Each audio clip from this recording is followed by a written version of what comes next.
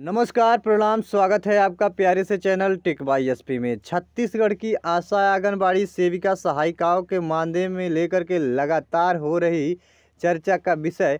तो वीडियो शुरू करने से पहले मेरा छोटा सा रिक्वेस्ट है, अगर आप मेरे चैनल पे नए हैं तो चैनल को लाइक कर लीजिएगा, सब्सक्राइब कर लीजिएगा और बेल आइकन जो है दबा लीजिएगा। इससे क्या होगा छत्तीसगढ़ की आशा आंगनबाड़ी सेविका सहायिका ममता Jeevika रसोईया A N M G N M से जुड़ी जो भी खबर आएगा, सबसे पहले आप सभी कर्मचारियों को देखने और सुनने को मिलेगा।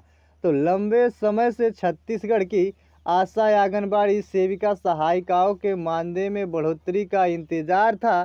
फाइनली मुख्यमंत्री विष्णु देव जी ने बड़ा ऐलान किया है जिससे जो है छत्तीसगढ़ की आशा आंगनबाड़ी सेविका सहायिकाओं को बड़ा लाभ देखने को मिलेगा।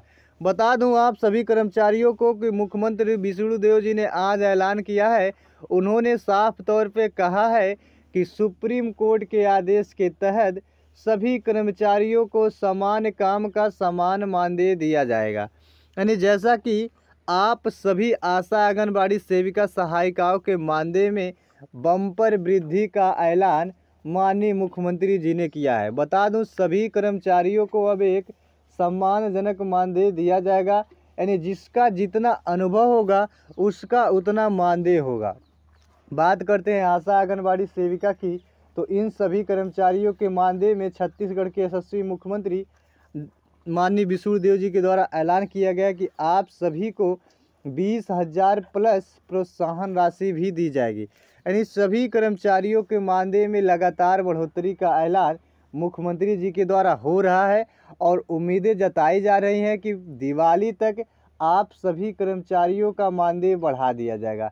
यानी दिवाली तक सभी कर्मचारियों के खाते में बढ़े हुए मानदेय का लाभ मिलेगा। साथ ही साथ इस बार दिवाली पर आप सभी आशा आंगनबाड़ी सेविका सहायिकाओं को दिवाली बोनस भी दिया जा रहा है। उम्मीद करता हूँ मेरा वीडियो आप सभी को पसंद आया होगा।